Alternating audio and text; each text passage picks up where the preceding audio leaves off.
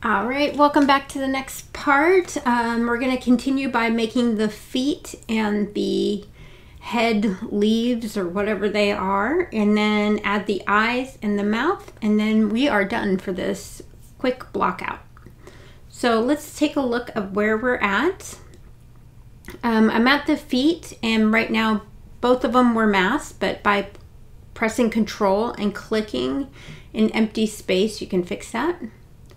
Um, since these are not symmetrical, these legs, um, I turned off symmetry. To turn that off, you press X at any time.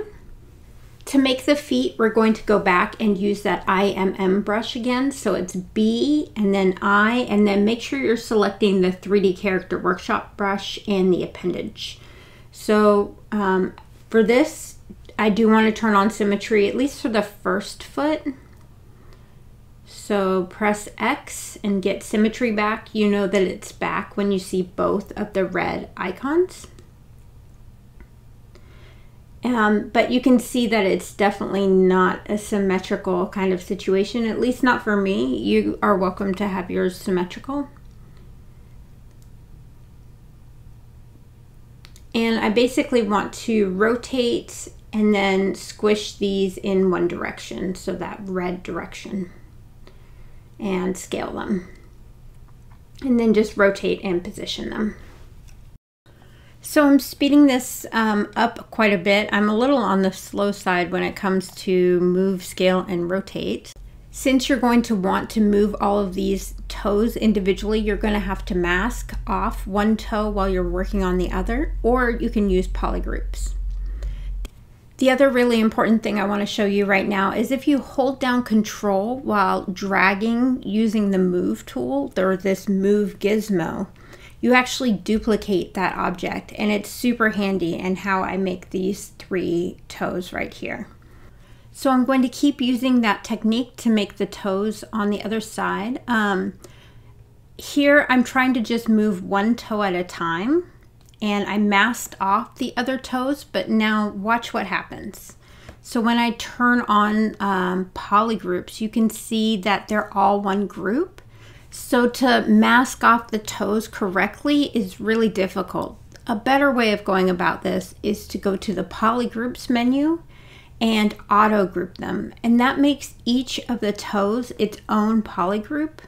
And now when I use the move tool, if I press control and shift and click on a toe, it automatically masks all of the other toes and lets me move just this one toe.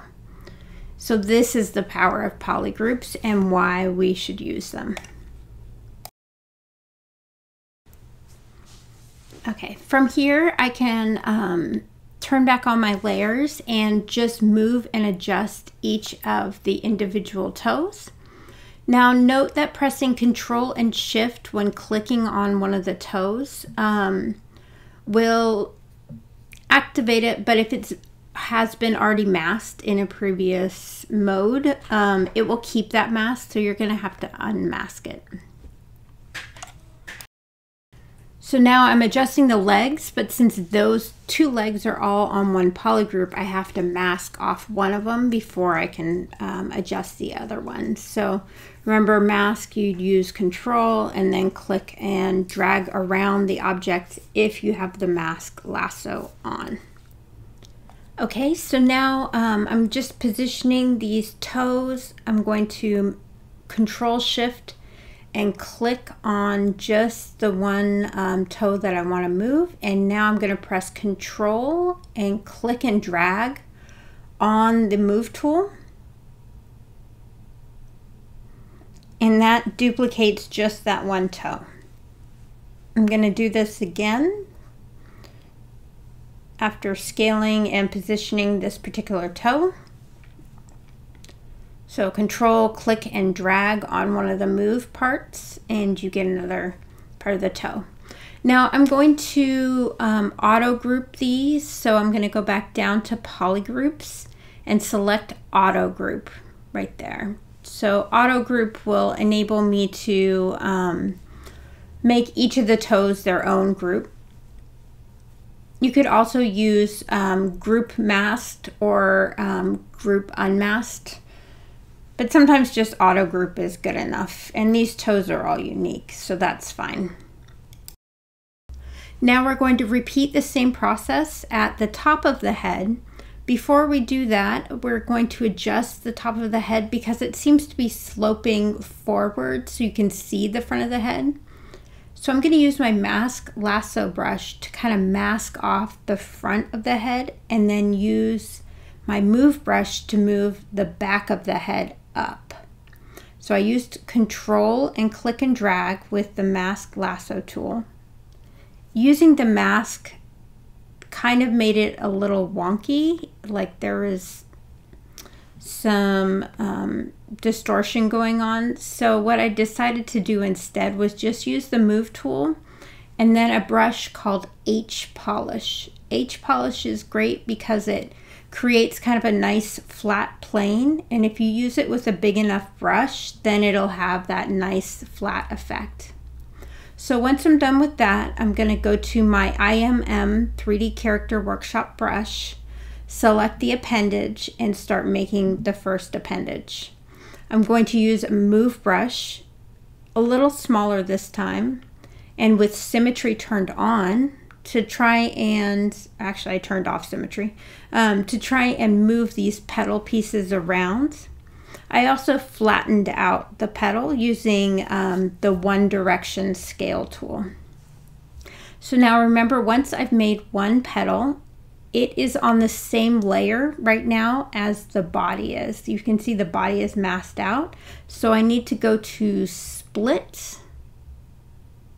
Oh, I turned on dynamic subdivisions and then split unmasked points. And what that does is makes the petal its own layer and then I can create more petals on this layer.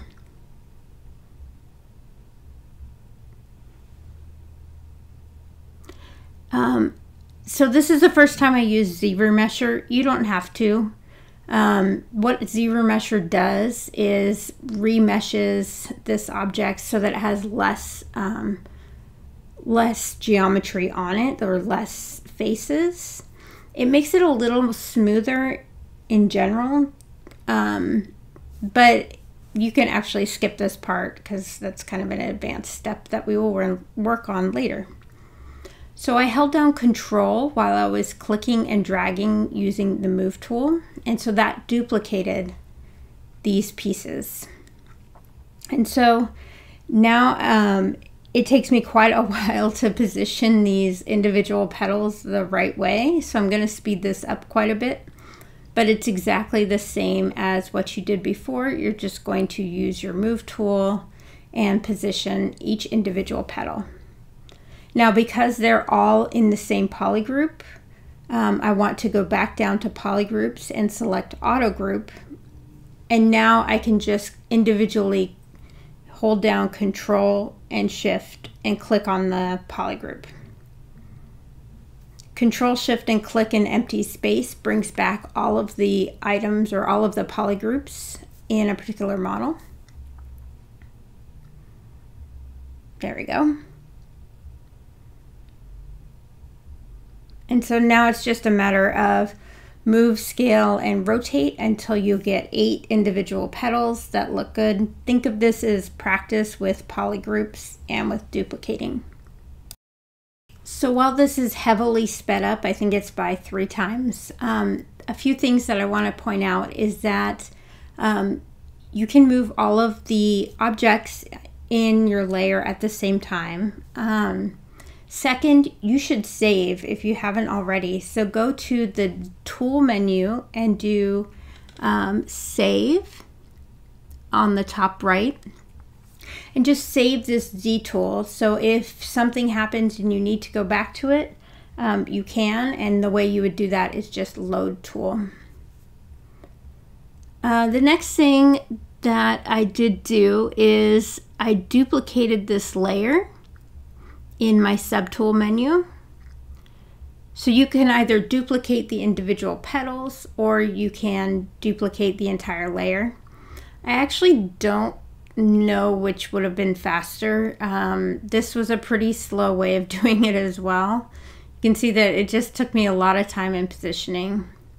I also had some hidden objects um, while I was duplicating the layer and so I had to go back and get rid of those hidden objects.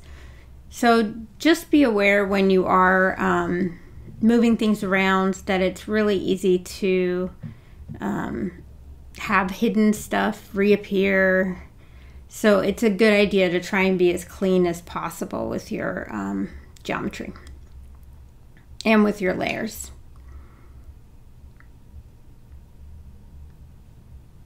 So you can see these are some of the extra hidden pieces.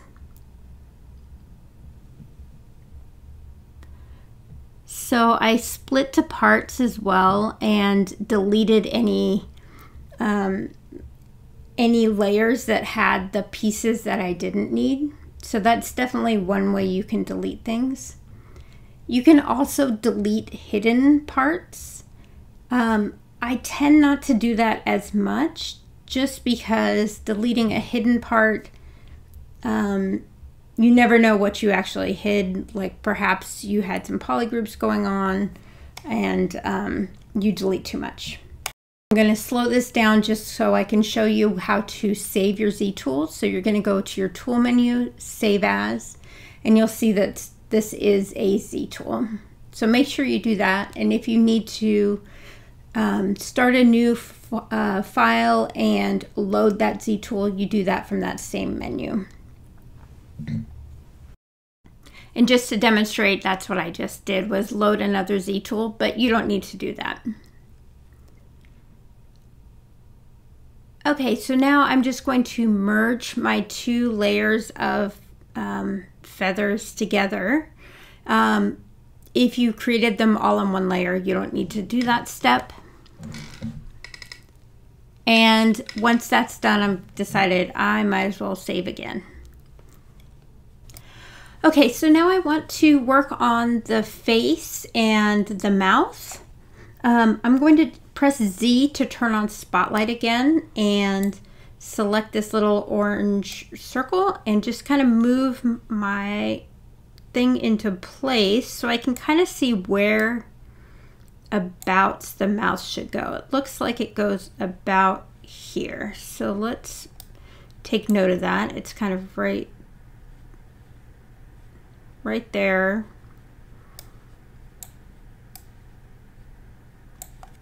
And press Z again to turn it off.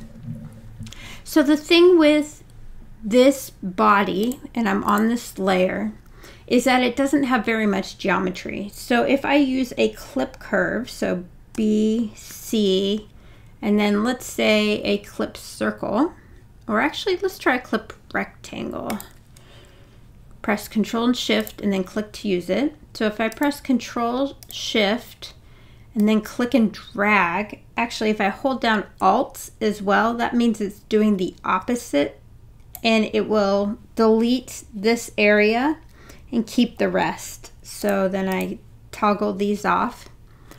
But the problem with this is that I don't have very much geometry here, so it's not going to be able to make a sharp corner. So I'm going to use my undo timeline and I'm going to add more geometry to this. So this is where our subdivision layers come in. So I'm going to go to the tool menu, geometry, and divide. Now it doesn't look like it did very much. Get kind of some hazing here. If I delete lower, you can see instantly that I have more geometry. Looks like I have multiple objects on top of each other though, which is a little concerning. If I do have multiple layers of geometry on top of each other, I'm going to delete lower first. And then what I can do is go to Subtool, Split, and Split to Parts. This is not undoable, so I'm going to hit cancel and I'm going to do a save really quick. Sorry, this is some problem solving, um, but it's something that may happen to you. Just because it's so easy to hold down control and click sometimes. So split to parts, hit OK, and it's not. Okay, so that's fine. Um, it must just be my eyes or the way it's looking. So this is looking pretty good for geometry, but I do kind of want a nice sharp indent for that mouth. So what I'm going to do is go to geometry and divide one more time and delete lower. So now this is a pretty darn dense mesh and should be able to handle anything that I put to it. I'm going to use the clip circle, which will cut away anything that is not in the circle. If I press Alt while doing the clip circle, it will keep everything else and just remove the part of the circle. So that's what I'm going to do here. If you're using the toggle keys, remember to turn them off. Okay, so the last thing to do is to add the eyes. And we're going to use one more, and actually I need to do the hands, but I'll fast forward through those. Um, to add the eyes, what we're going to do is use the extract button. The extract button takes any masked area and allows you to duplicate those faces and extrude them at the same time. So it creates extra geometry in the exact same place as a place that's been masked. So I'm going to zoom in. Uh, remember, you can use your Alt, click, and drag you can also use this Zoom 3D key. And we're going to need to get a little close because we want to be able to get close enough to mask. So click and drag. There we go.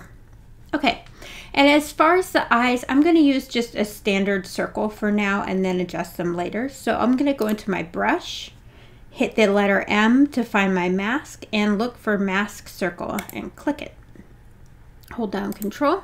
Okay. Um, these eyes are actually not symmetrical, so I am not going to have them with symmetry. And I'm just going to hold down control and click and drag. And then control and click and drag. Hmm, not a big fan of those two. Let's do it again. Control, click and drag. That's better. Control, click and drag.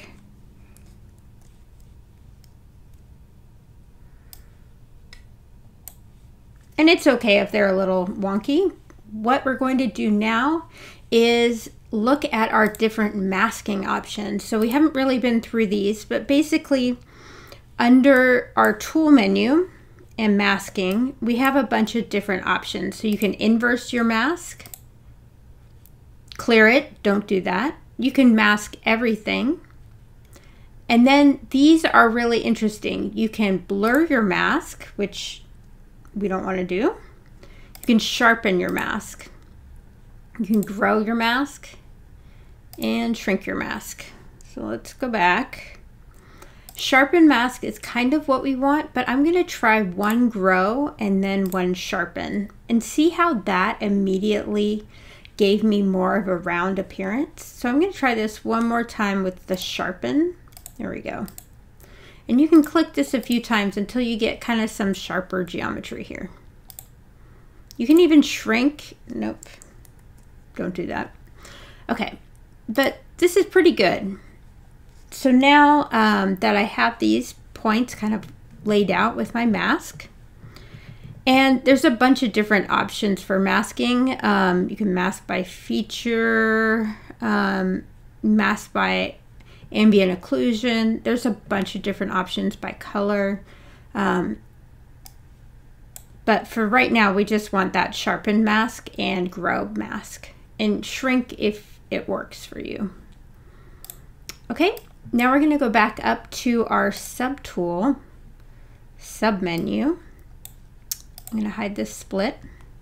And see how under subtool at the very bottom is the extract option. I'm to click that and I'm going to click extract. Bam. Now we have new geometry. Uh-oh, and it disappeared when I clicked. So I'm going to hit extract again. I am going to notice that when I masked, I also masked the back side of my object. Um, so I'm going to fix that before I actually extract. So The way to fix that is by clicking anywhere. Um, when you're extracting, you have to hit the accept button for it to become real. So I'm just going to click and that's going to get rid of that. I'm going to move around to the back side of my mask and hold down control and alt. Remember that does the opposite. And I'm just going to unmask this back surface here. Control and alt. Oops.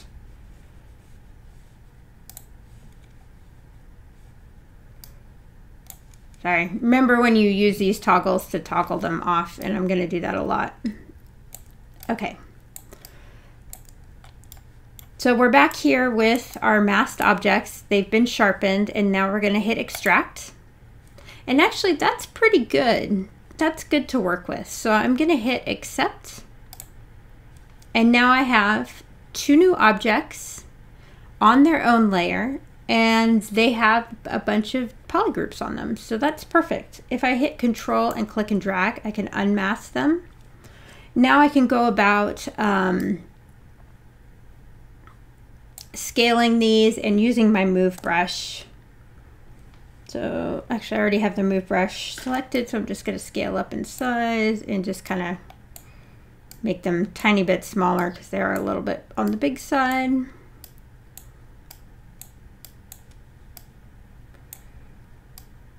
There we go. But you can see how easy this extract button is. And part of the reason I wanted to show it to you this early is because this is how we'll make clothing.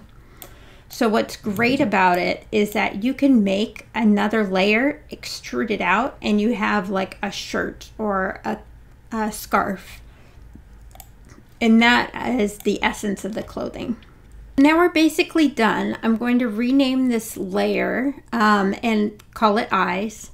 I'm also going to fix the scaling of the eyes and individually scale them. So to do that, I want to um, split to parts so that I can scale each individual eye.